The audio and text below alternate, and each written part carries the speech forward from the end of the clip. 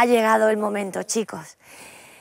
¿Quién es el que está siendo menos andaluz?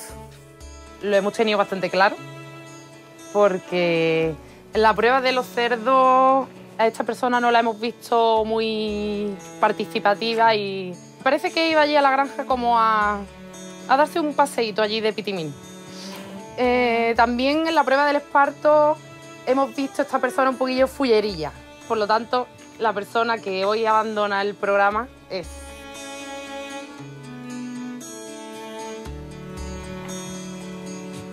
Mariam. ¿Es lo que hace? No pasa nada. Hasta muy mal. Y minchona, y min- y minchona, y minchona. Me he pasado muy bien y el lloro que he hecho hoy ha sido de alegría. Y no he llorado hace tiempo, ¿eh? Pero este lloro es de alegría, de verdad. No es que me duela. Me hubiera gustado seguir, pero Pues sí que esperaba que fuese la primera eliminada.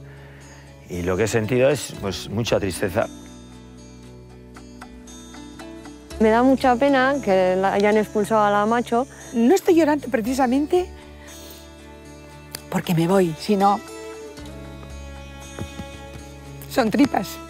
Hemos hecho mucha piña. ¿Qué pasa? Que al final estamos jugando, es un concurso y tiene que haber eliminaciones. Marian, mañana vuelves a casa.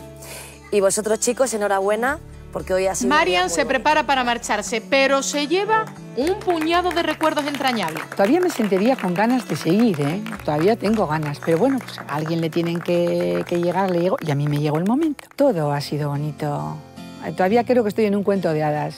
Toda la gente que he conocido, los amigos que he hecho.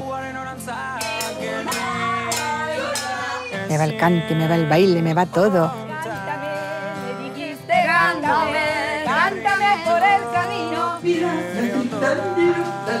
tú me lo diste, no te pedí. Y la gente del pueblo de Ardales. Jo, que a este pueblo hay que venir.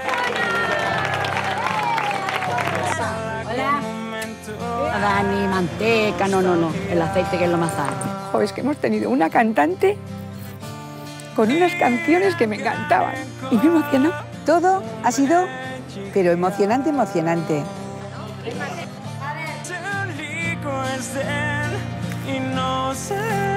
Estoy molida. Y a ver si un costadillo por aquí así. ¡Por fin! Una enseña los zapatos entre volantes y blondas. La mayor abre los ojos y la menor los entorna. Pa' usted. ¿Cuántas cosas? Uy. Oye, no, no cerré la puerta. ¡Wow! Ha sido lo más bonito que he tenido en mi vida.